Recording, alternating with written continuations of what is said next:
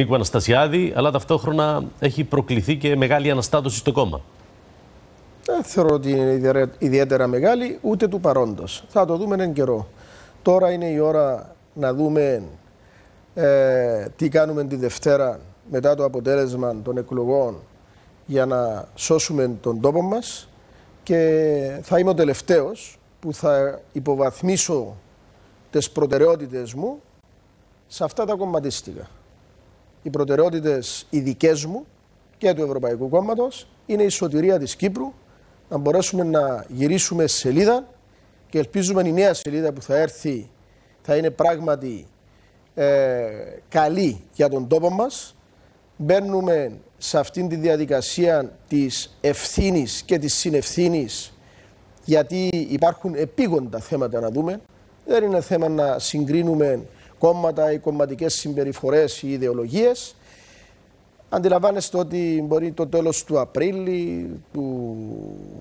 ακόμα και του Μάρτη, να μην έχουμε να πληρώσουμε μισθούς. Οι άνεργοι αυξάνονται ραγδαία, πάμε πάνω από το 16%. Καθημερινώς νέοι άνθρωποι χάνουν τις δουλειές τους.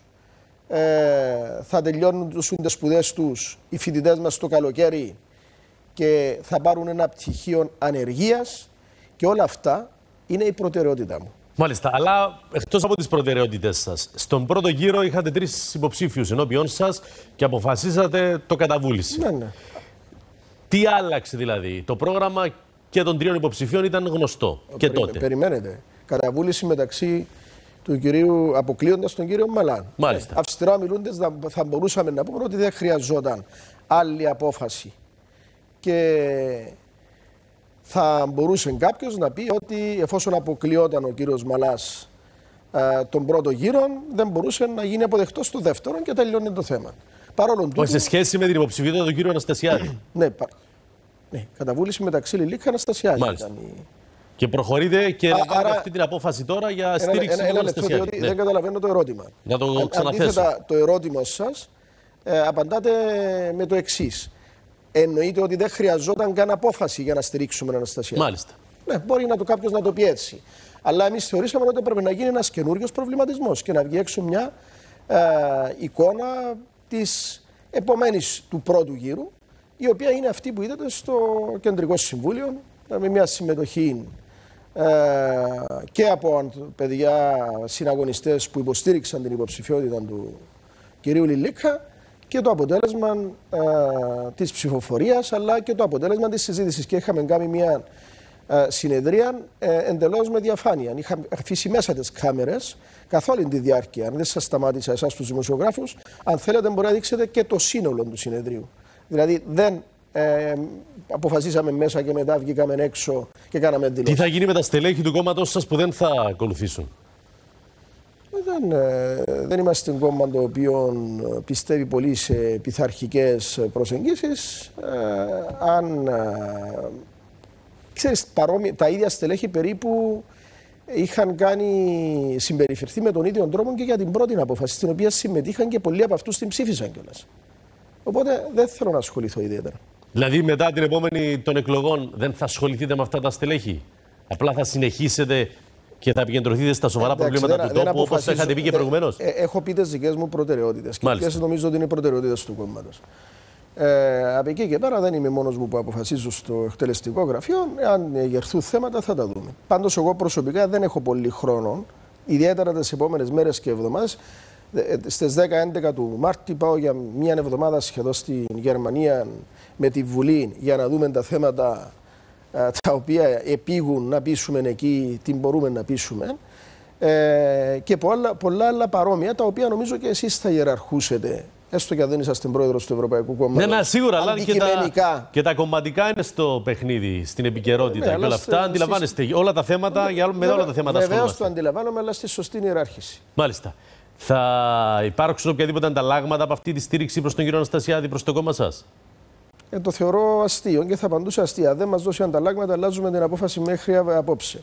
Ε, Έχουν έχω... ακουστεί. Τώρα, κύριε ε... Σιλούρη, ο κόσμος τα διαρωτάται. Είναι μια στήριξη. Ναι, Υπήρχε ναι, οποιαδήποτε ναι. συζήτηση με τον κύριο Αναστασιάδη; Καμία. Έγινε οποιαδήποτε καμία συζήτηση. Καμία θέσατε κάποια πράγματα. Κα, αυτό καμία, το θέτουμε. Ναι. Καμία απολύτως.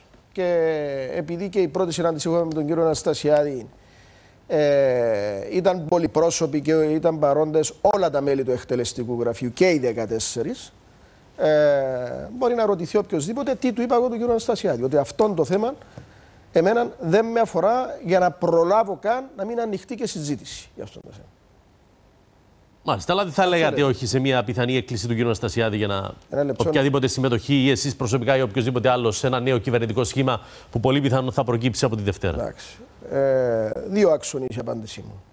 Για μένα προσωπικά, αν μου προταθεί και βεβαίως θα πω όχι. Μάλιστα.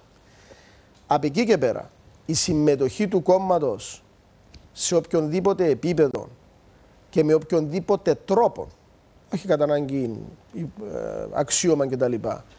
για να συμβάλλει στην ανάκαμψη της Κύπρου, ανάκαμψη της οικονομίας και γενικότερα την ανάταση της Κύπρου, θα είμαστε παρόντες. Αυτή είναι και η βάση της απόφαση μας. Αν δεν είχαμε αυτά τα επίγοντα ουσιαστικά και σημαντικά, ιδιαίτερα για την οικονομία, ναι, μπορεί και εμάς η απόφαση μας να ήταν με έναν ελαφρύ τρόπο, ούτε τον έναν ούτε τον άλλον, όπως είπαμε πριν πέντε χρόνια, θα μπορούσε να ήταν καταβούληση, θα μπορούσε να ήταν μην ψηφίσετε κανέναν, θα μπορούσε να ήταν μην πάτε να ψηφίσετε.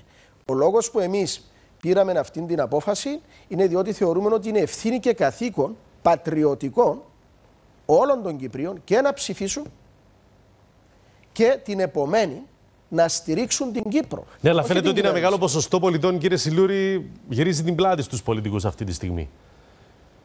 Δηλαδή οι εκτιμήσεις και των ειδικών είναι ότι θα έχουμε μεγάλο και, ποσοστό αποχής. Ναι, είχαμε και, την προηγούμενη φορά, αν ναι. δεν κάνω λάθος, σχεδόν 20%-18% αποχή.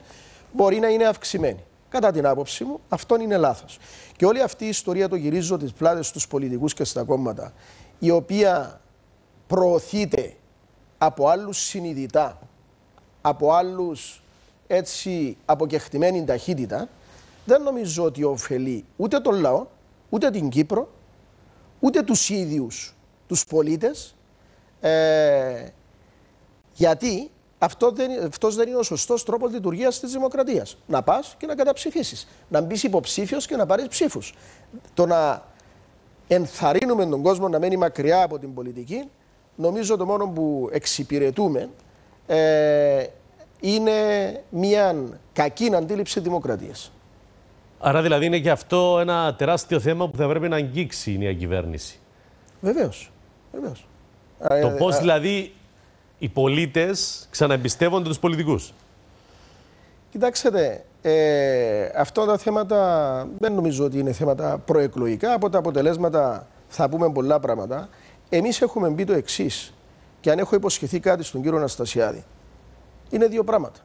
Πρώτον, θα είμαστε παρόντες να στηρίξουμε, να βοηθήσουμε με προτάσεις και ταυτόχρονα παρόντες να επικρίνουμε ώστε η αξιοπιστία να είναι ξεκάθαρη ότι αν αυτά που υπόσχεσαι δεν τα εφαρμόζεις, ο πρώτος ο οποίος θα σου κάνει κριτική θα είναι το Ευρωπαϊκό Κόμμα. Δεν θα συνεργαστούμε για επικοινωνιακές επικαλύψεις των πρακτικών της κακοδιαχείρισης της αναποτελεσματικότητας. Θα συνεργαστούμε για να εφαρμοστούν οι υποσχέσεις, να εφαρμοστούν πολιτικές, να λυθούν προβλήματα. Και αυτά τα δύο είναι ξεχωριστά. Το επικοινωνιακό κομμάτι δεν θα μας βρει παρόντες. Ο ρόλος της Εκκλησίας σε αυτές τις κρίσιμες στιγμές, ποιος θα πρέπει να είναι αυτός; Ο ρόλος που είδαμε χθες στον Αρχιεπίσκοπο να ναι. τοποθετείται υπέρ του Νίκου Αναστασιάδη; Όχι, να τοποθετείται, όχι να τοποθετείται υπέρ του Νίκου Αναστασιάδη. Ε, προσωπικά, εγώ θεωρώ ότι, προσωπικά θεωρώ ότι ο ε, Αρχιεπίσκοπος της Κύπρου δεν είναι ένας απλός ιερωμένος και ιστορικά και διαχρονικά και μετά από την ανεξαρτησία μας. Εξάλλου πέστε μου, πότε σε αρχιεπισκοπικές εκλογές τα κόμματα πλην του Ευρωπαϊκού Κόμματος δεν συμμετείχαν. Εμείς δεν συμμετείχαμε στις προηγούμενες που ήμασταν κόμμα, διότι πιο παλιά δεν υπήρχαμε. Εγώ βλέπω υπήρχε και μια... συμμετοχή στις αρχιεπισκοπικές. Ε, υπήρχε και τότε ναι. γιατί τους ενοχλεί όταν γίνεται το ανάποδο. Άρα εκτιμάτε ότι πρέπει και από τις δύο πλευρές να υπάρχει ξεκάθαρη τοποθέτηση και να μην ενοχλεί καμία από τις δύο πλευρές. εγώ αποφασίζω ότι δεν συμμετέχω σε αρχιεπισκοπικές εκκλησιαστικές εκλογές. Ταυτόχρονα τοποθετούμε ότι επειδή όλοι οι άλλοι ασχολούνται, πρώτον δίνουν το δικαίωμα και στον Αρχιεπίσκοπο, αλλά και να μην γίνονταν έτσι, λέω ότι διαχρονικά η Εκκλησία της Κύπρου έχει λόγο και ρόλο παραδοσιακά και πριν την ανεξαρτησία για αιώνες που μας κράτησε εδώ τον ελληνισμό και τον χριστιανισμό και μετά. Αυτό δεν κάνει την Κύπρο εκκλησιαστικό κράτος. Μάλιστα, ένα κάτι, μήνυμα... Να σας πω και κάτι τελευταίο. Παρακαλώ και κλείνουμε, ναι. Για αυτό το θέμα. Πριν δύο μήνες, τρεις μήνες, ο Αρχιεπίσκοπος της Αγγλίας έκανε κριτική στον Πρωθυπουργό για την κοινωνική του πολιτική. Αν στην Αγγλία, που υποτίθεται δεν υπάρχει αυτή η παράδοση, δικαιούνται οι ιεράρχες να μιλούν πολιτικά, γιατί στην Κύπρο που έχουμε την παράδοση, όλοι είναι αυτοί που έχουμε, ε, να μην δικαιούνται. Μάλιστα. Εντάξει, μπορεί κάποιος να σας πει εξ αρχής ο Αρχιεπίσκοπος είχε πει ότι δεν θα τοποθετηθεί. Εντάξει. Στην πορεία έχει τοποθετηθεί. Εντάξει, είναι τεράστια. Δεν είναι δικηγόρος του Αρχιεπίσκοπου. Όχι, σίγουρα. Ναι. Όχι, είναι ξεκάθαρο. Ευχαριστώ κύριε Σιλούρη για την εδώ παρουσία σας. Να είστε